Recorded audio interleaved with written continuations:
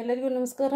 ಈ ವಿಡಿಯೋದಲ್ಲಿ ಮುಂದುವರೆದ ಭಾಗದಲ್ಲಿ ನಾನು ನಿಮಗೆ ಸೈನ್ ಕಾಸ್ ಟ್ಯಾನ್ ಬಗ್ಗೆ ಹೇಳಿದ್ದೀನಿ. ಇದು ಅದರ ಮುಂದಿನ ಭಾಗ. ಕೊಸೆಕ್ ಅಂದರೆ one divided by sine A one divide by sine A ಅಂತಂದರೆ ಸೈನಿಗೆ ನಾವು ಏನಂತ ಹೇಳ್ತೀವಿ?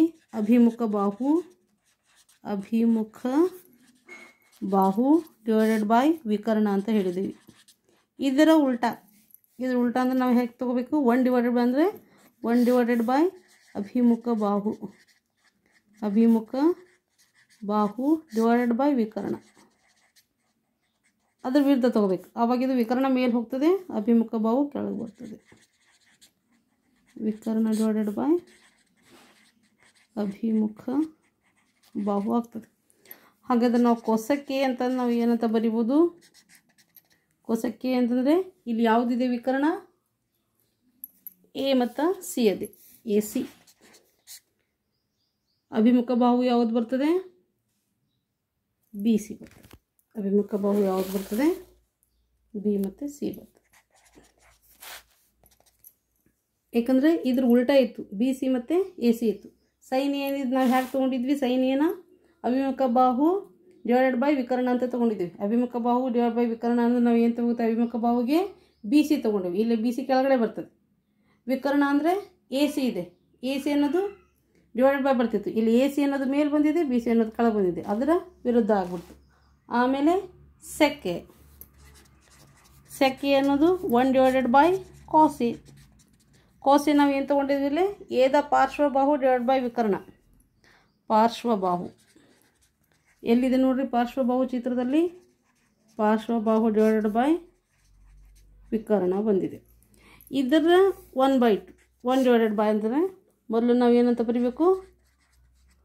ಪಾರ್ಶ್ವಬಾಹು ಡಿವೈಡೆಡ್ ಬೈ ವಿಕರ್ಣ. ಇದು ಮೇಲ್ ಬರ್ತದೆ ವಿಕರ್ಣ ಅನ್ನೋದು. ಏಕೆಂದರೆ ಅದರ ವಿರುದ್ಧ ಭಾಗದಲ್ಲಿ ನಾವು ತೊಗೊಂಡಿರೋದ್ರಿಂದ ಡಿವೈಡೆಡ್ ಬೈ ಆಗೋದ್ರಿಂದ ಪಾರ್ಶ್ವಬಾಹು ಕೆಳಗಡೆ ಬರ್ತದೆ. ಇಲ್ಲಿ ನೋಡ್ರಿ ವಿಕರಣ ಯಾವುದಿದೆ? ಎಗೆ ವಿಕರಣ ಯಾವುದು ಬರ್ತದೆ? ಎ ಸಿ ಬರ್ತದೆ. ಪಾರ್ಶ್ವಬಾಹು ಯಾವುದು ಬರ್ತದೆ? ಎ ಬಿ ಬರ್ತದೆ. ಇಲ್ಲಿ ನೋಡಿ ಕಾಸ್ ಇದ್ದಿದ್ದು ಎ ಬಿ ಮೇಲಿದೆ ಎ ಸಿ ಕೆಳಗಿದೆ. ನಮ್ಮದು ಸೆಕೆ ಇದ್ದಿದ್ದು ಎ ಸಿ ಮೇಲಿದೆ ಎ ಬಿ ಕೆಳಗಿದೆ. ಇನ್ನೊಂದು ಲಾಸ್ಟ್ ಕಾಟೆ ಕಾಟೆ ಇದ್ದು one divided by tan A one divided by tan A tan A ಏನಾಗಿದೆ? ಅಭಿಮುಖ ಬಾಹು ಅಭಿಮುಖ ಬಾಹು ಡಿವೈಡೆಡ್ ಬೈ ಪಾರ್ಶ್ವ ಬಾಹು ಇದೆ. ಪಾರ್ಶ್ವ ಬಾಹು ಬರ್ತದೆ. ಇದರ ಅಭಿ, ಇದರ ಉಲ್ಟಾ ಅಂತಂದರೆ ಮೇಲೆ ಪಾರ್ಶ್ವಬಾಹು ಬರ್ತದೆ. ಪಾರ್ಶ್ವಬಾಹು ಮೇಲೆ ಬರ್ತದೆ, ಅಭಿಮುಖ ಬಾಹು ಕೆಳಗಡೆ ಬರ್ತದೆ. ಅಭಿಮುಖ ಬಾಹು ಕೆಳಗಡೆ ಬರ್ತದೆ. ಇಲ್ಲೇ ಪಾರ್ಶ್ವಬಾಹು ಯಾವುದು ಇದೆ ನೋಡಿ ಚಿತ್ರದಲ್ಲಿ? ಪಾರ್ಶ್ವಬಾಹು ಎ ಬಿ ಇದೆ. ಪಾರ್ಶ್ವಬಾಹು ಯಾವುದಿದೆ? ಎ ಬಿ ಇದೆ. ಅಭಿಮುಖ ಬಾಹು ಯಾವುದಿದೆ? ಬಿ ಸಿ ಇದೆ. ಇಲ್ಲಿ ನೋಡ್ರಿ, ಇದು ಯಾವ್ದು ಬಂದಿತ್ತು? ಮೇಲೆ ಈ ಬಿ ಸಿ ಬಂದಿತ್ತು, ಕೆಳಗಡೆ ಎ ಬಿ ಬಂದಿತ್ತು. ಮೇಲೆ ಅಭಿಮುಖ ಬಾಹು ಇದೆ, ಕೆಳಗಡೆ ಪಾರ್ಶ್ವಭಾವ ಇದೆ. ಇಲ್ಲೇ ಪಾರ್ಶ್ವಭಾವ ಇದೆ, ಕೆಳಗಡೆ ಅಭಿಮುಖ ಬಾಹು ಇದೆ. ಈ ರೀತಿಯಾದಂತಹ ಆರು ಅಂಶಗಳನ್ನು ನಾವು ಚೆನ್ನಾಗಿ ನೆನಪಿಟ್ಟುಕೊಂಡ್ರೆ ಮಾತ್ರ ಟಿಗ್ನೋಮೆಟ್ರಿಯಲ್ಲಿರುವ ಅತ್ಯಂತ ಸರಳವಾದ ಅಂಶಗಳನ್ನು. ಇದರಲ್ಲಿ ಮೂರು ಬರ್ತವೆ ಟೆಗ್ನೋಮೆಟ್ರಿ ಅಂದರೆ ಗ್ರೀಕ್ ಪದಗಳಾಗಿರ್ತವೆ ಟ್ರೈ ಅಂದರೆ ಮೂರು ಗಾನ್ ಅಂದರೆ ಬಾಹುಗಳು. ಇವುಗಳಲ್ಲಿರುವ ಮೂರು ಬಾಹುಗಳು ಒನ್ ಟೂ ತ್ರೀ ಮತ್ತು ಇದು ವಿಕರ್ಣ ಪಾರ್ಶ್ವಬಾಹು ಅಭಿಮುಖ ಬಾಹು ಇವು ಮೂರು ಬಾಹುಗಳ ಅಳತೆ ಮಾಡೋದನ್ನು ಮೆಟ್ರೋ ಅಂತಂದರೆ ಅಳತೆ. ಮೂರು ಲಂಬಕೋನ ತ್ರಿಭುಜದ ಮೂರು ಬಾಹುಗಳ ಅಳತೆಯನ್ನು ನಾವು ಟ್ರೈಗೋನೋಮೆಟ್ರಿ, ಟ್ರಿಗ್ನೋಮೆಟ್ರಿ ಅಥವಾ ತ್ರಿಕೋನಮಿತಿ ಅಂತ ಕರೆಯಲಾಗ್ತದೆ. ಇದರಲ್ಲಿ ಇನ್ನೂ ಪ್ರಮುಖ ಅಂಶಗಳನ್ನು ನಾವು ಇದರಲ್ಲಿ ನೋಡ್ಕೋತಾ ಹೋದರೆ ತ್ರಿಕೋನಮಿತಿ ನಿತ್ಯ ಸಮೀಕರಣಗಳು ಬರ್ತವೆ. ನಿತ್ಯ ಸಮೀಕರಣ ಯಾವ ರೀತಿಯಾಗಿ ಹೇಳ್ಬೋದು ಅಂದರೆ ಕಾಸ್ಕಾರ್ A ಕಾಸ್ಕಾರ್ A plus sine square A sign square A equals to one one plus tan square A one plus tan square equal to sec square A cot square A plus of one equals to cosec square A ಈ ಮೂರು ಅಂಶಗಳನ್ನು ಕರೆಕ್ಟಾಗಿ ನೆನ್ಪಿಟ್ಕೋಬೇಕು. ಅಲ್ಲಿ ಆರು ಅಂಶಗಳು ಇವು ಮೂರು ಅಂಶಗಳು.